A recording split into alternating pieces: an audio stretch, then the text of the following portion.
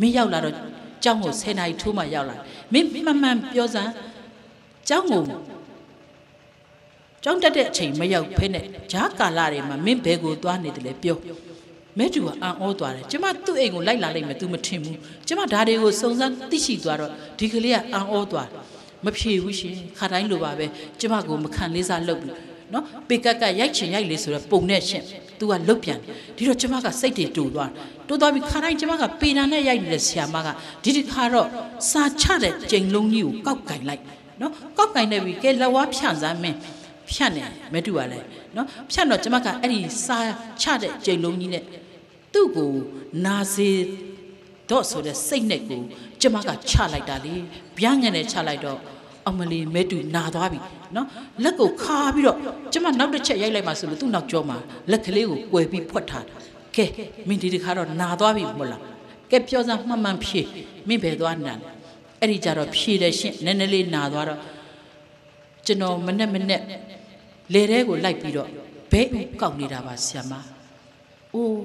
မင်းဘဲဥကောက်တယ်ဟုတ်လားမင်းအလုပ်လား မင်းကចောင်းသားအလုပ်မင်းအိမ်ကလည်းမသိဘူးမင်းဘဲဥတွေကောက်တယ်ကောက်ပြီးလို့ရှိရင်မင်းဘူတာကိုသွားရောက်မယ်ရလာတဲ့ပတ်စံနဲ့မင်းတာပေါင်းမောတက်ပြီးဖဲရိုက်မယ်ဟုတ်တယ်မလားမဲတူ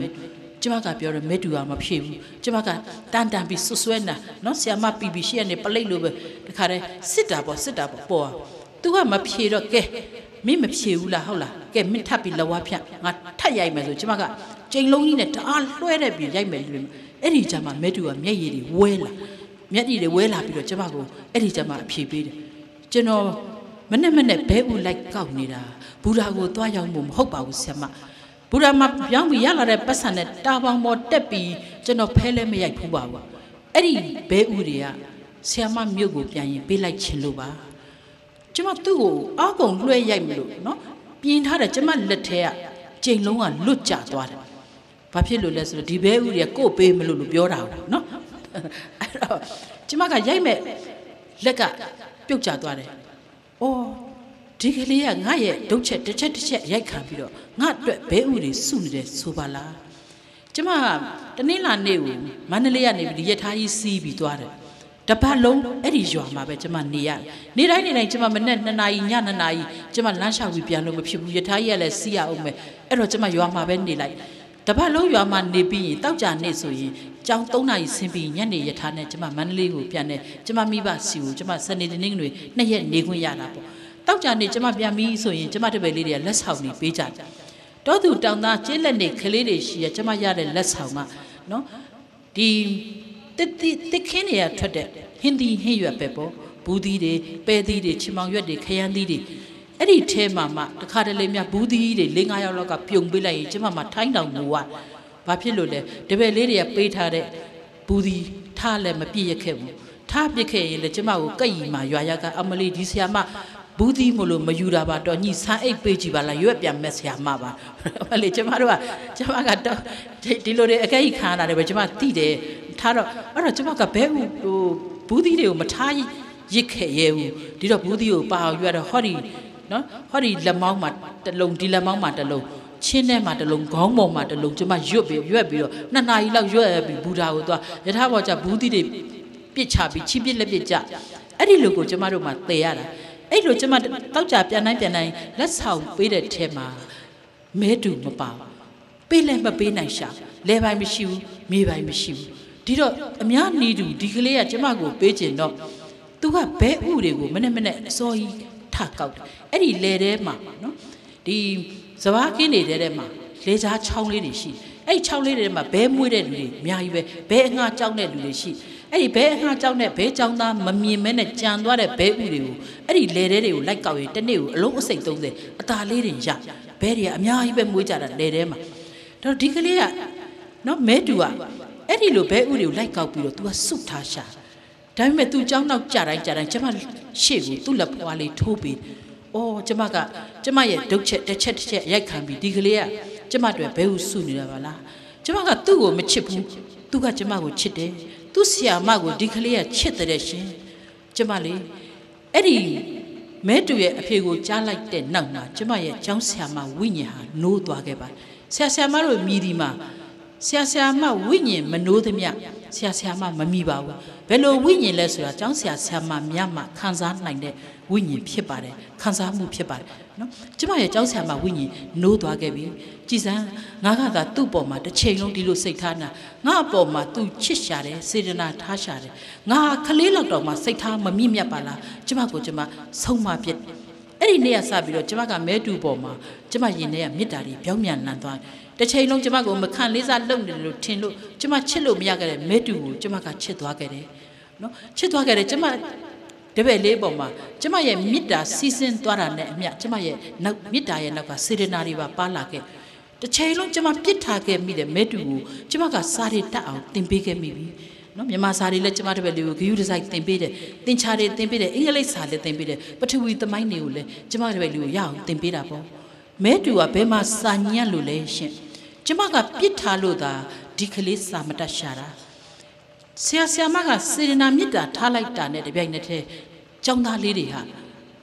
စာတတ်သွားတယ်ဒီမေတ္တာရဲ့အစွမ်းပကားကိုကျမကပြောချင်တာနော်ဒါကြောင့်မလို့ဆရာဆရာမတွေဆိုတာဝိညာဉ်နိုးပြီးစေနာမေတ္တာပါလို့ရှိရင်တပည့်တွေညံ့စရာအကြောင်းမရှိဘူးကျမကိုတွေ့ပါနော်တစ်ချိန်လုံးစာညံ့လို့ကျမရိုက်ခဲ့တဲ့မဲတူဟာကျမမေတ္တာစေနာရလိုက်တာနဲ့တပြိုင်တည်းသူဟာစာတော်တဲ့ကလေးဖြစ်လာခဲ့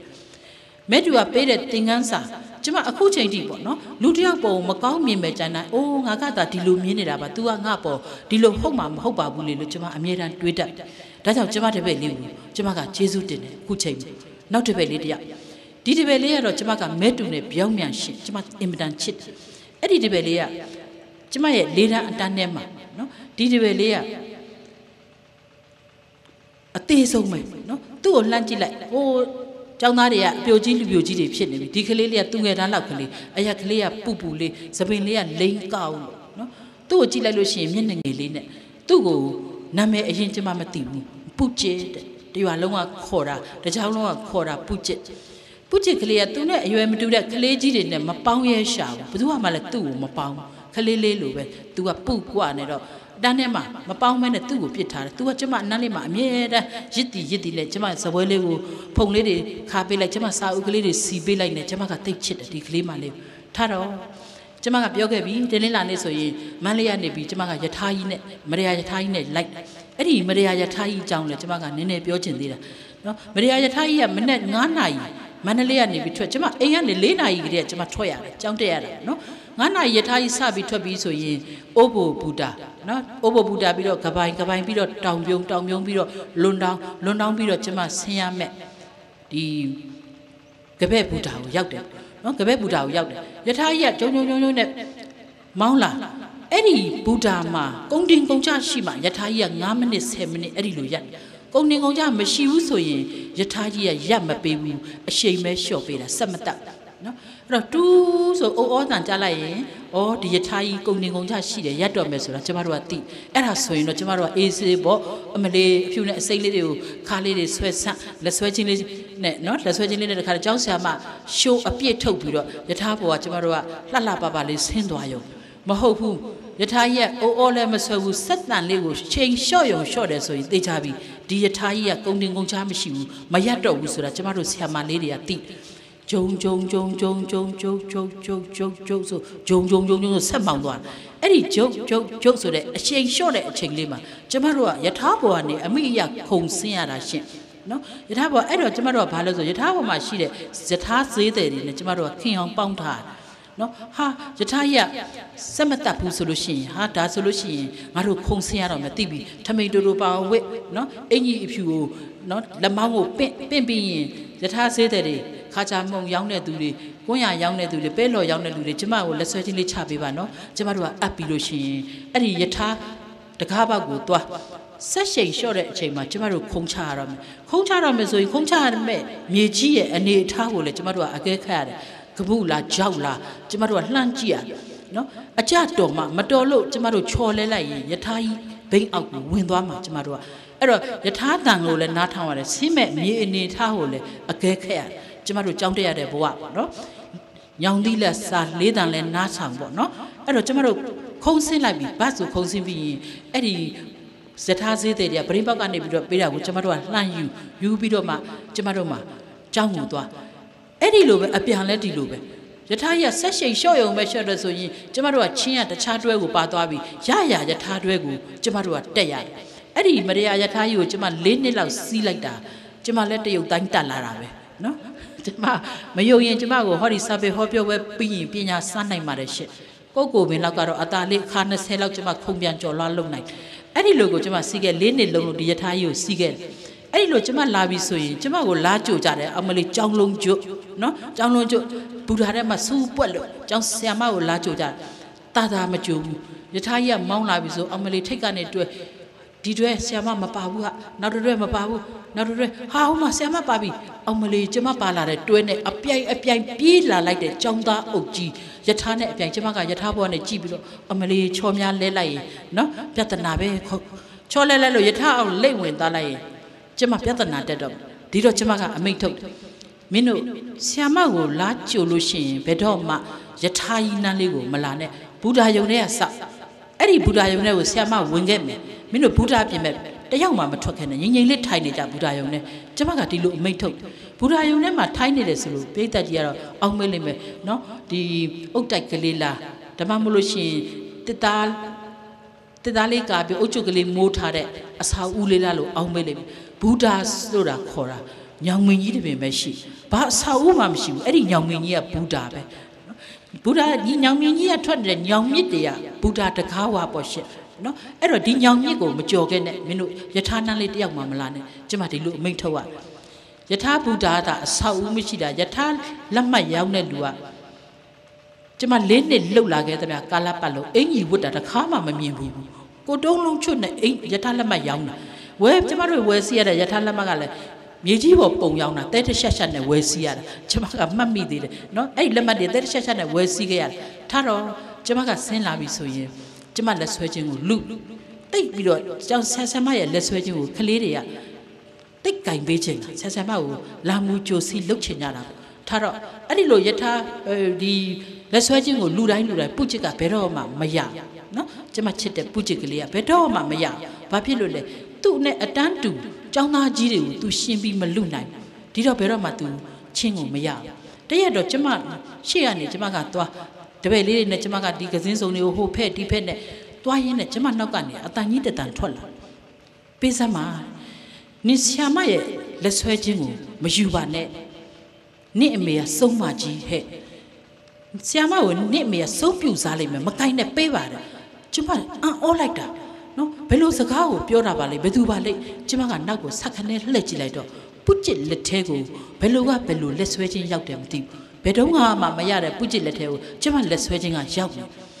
အဲ့ဒီပုကျစ်လက်ထဲကလက်ဆွဲချင်းကိုကြောင်းသူမအကြီးမလေးကအတင်းပြန်ဆွဲပုကျစ်ကလည်းမပေးဘူးနော်ရုံးကန်နေကြအဲ့ဒီမှာကျမကချက်ချင်းလှည့်ကြည့်ပြီးတော့သမီးဘယ်လိုပြောလိုက်တာလဲဘာဖြစ်လို့ပုကျစ်ကိုဒီလိုနိုင်တဲ့စီးနေပြောရတာလဲကျမကပြောတော့အဲ့ဒီကလေးမလေးက ပြောတယ်ဟုတ်တယ်ဆရာမသူ့အမေကစုံမကြီးဆရာမသမီးတို့ရွာတရွာလုံးမပေါင်းဘူးပူချစ်တောင်ကျောင်းအုပ်ဆရာမကြီးကလက်ခံထားလို့ကျောင်းမှာလားနေတာဆရာမသမီးတို့ကမပေါင်းဘူးသူ့အမေကဆုံးမကြီးကျမကမင်းတို့ဒီနေ့ကစပြီးပူချစ်ကိုအဲ့ဒီလိုလိုက်တဲ့စီလင်စကားတွေမပြောရဘူးဆုံးမသမီးလို့ဘယ်သူမှမပြောရဘူးပူချစ်ဆုံးမသမီးလို့ဆရာမလက်မခံဘူးအခုချက်ချင်းပူချစ်လက်ထဲကိုဆရာမလက်ဆွဲခြင်းကိုပိတ်လိုက်ပါကျမကပေးခိုင်းလိုက် အဲ့ဒီကျမှကျမသဘောပေါက်တာပူချစ်ကလေးကိုရွယ်ငယ်လို့သေးလို့အတန်းထဲမှာမပေါင်းဘူးလို့ကျမကထင်တာမဟုတ်ဘူးစုံမသမီးရဲ့လို့တရွာလုံးကတကြောင်လုံးကကျင်ထားကြတာဘူးမင်းတို့ပူချစ်နဲ့အတူတူကစားပါအတူတူထိုင်ပါအတူတူစားပြမှာကျမကဘယ်လိုပင်တိုက်တွန်းတော်လဲပဲရွာရက်တည်းရဲ့ဒလေထုံးစံတွေတိတ်ကြောက်စရာကောင်းကျမတို့ဆ iam မတွေလည်းရင်ဆိုင်ခဲ့ရထားတော့အဲ့ဒီလိုပေါ့နော်ပူချစ်ကလေးကိုကျမကဘယ်လိုပင်ပေါင်းခိုင်းတော်လဲဘယ်သူကမှမပေါင်းပါတရက်တော့မှတ်မှတ်ရရပါပဲကျမလေးတန်းမှာ နော်ဒီအပိုင်းကိုင်းနေကျမသင်းနေတာအပိုင်းကိုင်းနေသင်းနေကျမနေ့လေပိုင်းအပိုင်းကိုင်းနေသင်းပြီးတော့ကျမဥပမာတွေကိုတွက်ပြတယ်တွက်ပြတယ်တွက်ပြပြီးတော့ကျမကဥပမာတွေအလုံးတွက်ပြပြီးတော့ကဲလေ့ကျင့်ကတွက်ကြတော့တပုတ်ပြီးတပုတ်ဆီယာမကိုလာပြနားမလဲရင်လာမေးကျမကမောသွားပြီးတော့ကျမရဲ့ဇပွဲလေးနော်ဇပွဲလေးမှာကျမထိုင်းပြီးနားလိုက်တယ်ကျမဇပွဲလေးကကြောင်းပရင်ပေါက်ဘေးလေးမှာကျမကဇပွဲလေးတစ်ခုချကလထိုင်လေးနဲ့ထိုင် အဲ့ဒီမှာကလေးတွေကကျမကတင်ချတွက်ခိုင်းတာတွက်ပါတော့လားမဟုတ်ဘူးရှင်ငုံပြီးတော့တင်ချတွက်တွက်လိုက်ကျမနောက်ကျောကိုလှမ်းကြည့်လိုက်ပြန်ပြီးငုံလိုက်နော်တင်ချတွက်ချင်အောင်ဆောင်လိုက်ကျမနောက်ကျောကိုကြည့်လိုက်ကျောင်းသားတိုင်းကျောင်းသားတိုင်းအဲ့ဒီလိုမျက်နှာလေးနဲ့ကျမနောက်ကျောကဗရင်ဘက်ကိုကြည့်နေတဲ့အခါကျမကတိလိုက်ပြီကျမနောက်ကျောမှာတခုခုဖြစ်နေပြီဆိုတော့ကျမတိလိုက်ကျမနောက်ကျောမှာဒီဗရင်ဘက်ကွေးမှာမကြီးဝင်းကြီးပေါက်တော့အဲ့ဒီမကြီးဝင်းကြီးကမကြီးခိုင်းကြီးကဗရင်ဘက်ကိုထိုးနေအဲ့တော့ ဒီမကြီးခိုင်းကြီးမှာမွေကြီးတစ်ကောင်နော်လိမ့်ပြီးတော့တွားပြီးတော့ဆင်းလာနေသလားလို့ကျမကစက်သိန်းတွေထခါတဖြည်းဖြည်းဖြည်းဖြည်းနဲ့ကျမကလှည့်ပြီးကြည့်လိုက်တဲ့အခါငွေမဟုတ်ဘူးရှင်မိမတယောက်ခေါင်းစုပ်ဖွားကြီးနဲ့ကျမနောက်ကျောတက်တဲ့မှာရက်နေတာဒီမိမကျမကလှည့်ကြည့်လိုက်တော့ကျမကိုရီးပြတယ်ဖြည်းခင်းနဲ့ဖြည်းခင်းနဲ့ရီးပြလိုက်တဲ့သူ့သွားကြီးတွေကလည်းဝါထိန်တယ်ဒါတော့ဝါတဲ့သွားကျမတက်တက်မတွေ့ဘူးကဲနော် ဝါထိန်လို့ဒီမိမကျမကိုရီးပြကျမကနောက်ကိုခြေတလန်းဆုပ်ပြီးတော့ကျမကသူ့ကိုကြည့်တယ်ဘာကိစ္စရှိလို့လဲကျမကအဲ့လိုမေးတော့ तू ကဆ iam မကြုတ်တိလားဒီမိမဘာတူလဲကျမဘူတာကနေပြီးတော့ကြောင်းကိုလာတိုင်းဒီရွာသူရွာသားတွေယထာလာစီးတာနဲ့ခဏခဏကြုံဘူးသားပဲအခါအားလျော်စွာရွာထဲကိုကျမရောက်တဲ့ခါလဲကျမကိုရွာသူရွာသားတွေကနှုတ်ဆက်ကြသားပဲ ဒါပေမဲ့ဒီမိမကိုကျမတာဝန်ထမ်းဆောင်တာနှစ်နှစ်သုံးနှစ်ရှိခဲ့တယ်တခါမှကျမမမြင်ဘူးခဲ့သူဘယ်သူဖြစ်မလဲဆိုတာကျမကြားကြားမစင်စားလိုက်ရဘူးရှင်တရွာလုံးကစုံမလို့ဆွဆွဲနေတဲ့ပုကျစ်ရဲ့အမေမချေးမြင်ဆိုတာသူဖြစ်လိမ့်မယ်လို့ကျမတန်းပြီးသိပါတယ်ဆ iam မကြုတ်တီလားလို့ကျမကိုမေးတော့ကျမသိပါတယ်မချေးမြင်မို့လားလို့ကျမကပြောတော့သူကသူ့သွားကြီးတွေဖြီးပြီးတော့ဂျင်းနဲ့သွားတယ်။ အော်ဆ iam မကြုတ်ကိုတီသားပဲတော့သူ့ကိုသူနိုင်ငံကျော်ရုပ်ရှင်မင်းသမီးကြနော်ကြုတ်ကိုတီသားပဲဟုတ်ကဲ့မချေးမြင်ဘာကိစ္စရှိလို့လဲကျမဘာကူညီပေးရမလဲကျမကမေးတဲ့ခါမှာမချေးမြင်ဟုတ်တယ်ဆ iam မကိုကျုပ်ကလာတွေးချင်လွန်းလွန်းဒီကနေ့ကျုပ်ဘဲချောင်းမထွက်ဘူးတော့မချင်းမြအဲ့ဒီရွက်ရဲ့အနောက်ဘက်တာပေါင်းရဲ့အနောက်ဘက်ကအဲ့ဒီဘဲတဲတွေထဲမှာဘဲတဲစုမှာနေတဲ့ဘဲချောင်းသမားနော်ကျုပ်ဘဲချောင်းမထွက်ဘူးဆ iam မတွေကိုကျုပ်လာတွေ့တယ်ဒီလိုဆ iam မရဲ့ မနေ့ကကျုပ်တို့ရွာမှာအစည်းအဝေးလုပ်တာဆ iam မကြားပြီဗလားကြားပြီပြီကျမကအဲ့ဒီတရင်ကိုဘယ်မှာကြားရတယ်လဲဆိုတော့အဲ့ယထာဘုဒ္ဓဆင်းတော့ဆင်းနိုင်ဆင်းနိုင်ကလေးတွေကကျမကိုလာကြိုတယ်နှစ်နာရီလောက်ရှောက်ရတဲ့အဲ့ဒီခီးလန်းတစ်လျှောက်လုံးကျမတာသမီတွေကျမရဲ့တပည့်လေးတွေကျမရဲ့ကလေးတွေကရွာထဲရှိသမျှတည်င်းတွေအတင်းတွေကျမကိုစုံအောင်ပြောပြီးသားအမလီဆ iam မမနေ့ကလေဘသူနဲ့ဘသူနဲ့ရန်ဖြစ်တာဘသူဆိုထမိန်ကြီးတောင်ကြွတ်ကြတယ် ဘသူအိမ်မှာနွားလေးမွေးတာဆ iam မအထီလေးအမလေးကျမကိုတည်င်းပို့နော်အဲ့ဒီမှာမနေ့ကကျမကြောင်းလာတော့ကျမတပည့်လေးတွေကကျမကိုဒီတည်င်းပေးထားပြီးပြီဆ iam မမနေ့ညကသမီးတို့ရွာမှာအစည်းအဝေးကျင်းပါတယ်ဟုတ်လားဘာစည်းဝေးတော့သမီးအဲ့ဒီစည်းဝေးကကျမတို့နဲ့ဆိုင်ဘာစည်းဝေးလဲဆိုတော့ကျမတို့ဆီယမလေးမန္တလေးကလာလို့တဲ့ဆီယမလေးနှစ်ယောက်ရှိအဲ့ဒီဆီယမလေးတွေကိုညနေစာထမင်းကျွေးဖို့ဆိုပြီးရွာကစည်းဝေးလုပ် ကျမတို့ဆီယမလေးနှစ်ယောက်ကဘုန်းကြီးကျောင်းနဲ့တွဲပွင့်ထားတဲ့စာတင်ကျောင်းလေးမှာဆရာတော်ကြီးကနေ့လေစွန်းဖုံးပေးပြီးတိုင်းဆရာမလေးနှစ်ယောက်ကိုဆွန်းကိုဆွတ်မှာကျမကဘုန်းကြီးကျောင်းကထမင်းကိုလေးနှစ်စားခဲ့တဲ့ဆရာမတစ်ယောက်ပါနော်ဆရာတော်ကြီးကကျမတို့ကိုနေ့လေစာစွန့်နေရှင်ကျမတို့ကနေ့လေစာစွန့်ညနေကြတော့ဆရာမလေးနှစ်ယောက်ကဒီကျောင်းထဲမှာကျမတို့ဂဲလုံးလေးတွေနော်အုတ်ခဲလေးတွေခူးပြီးတော့ဒီထမင်းချက်စားတယ်တနေ့နှုတ်စီဘူးတဘူးနှုတ်စီဘူးတဘူးတူးတာနဲ့ကုန်တာပဲထင်းချောက်ကလေးတွေလိုက်ကောက် နော်လိုက်ကောက်ပြီးတော့ချက်စားနှုတ်စီဘူးတဘူးကိုဆရာမနှစ်ယောက်မကုန်ဘူးဆန်းနေမကုန်တာလားဆိုတော့မဟုတ်ဘူးရှင်ဟင်းချက်ဆရာဘိုးလည်းတပြားမှမကုန်တပြားမှမကုန်ဘူးဆိုတော့ပေးသက်ကြီးကအောင်းမလိမ့်မယ်အော်တပည့်တွေပေါ်တာကို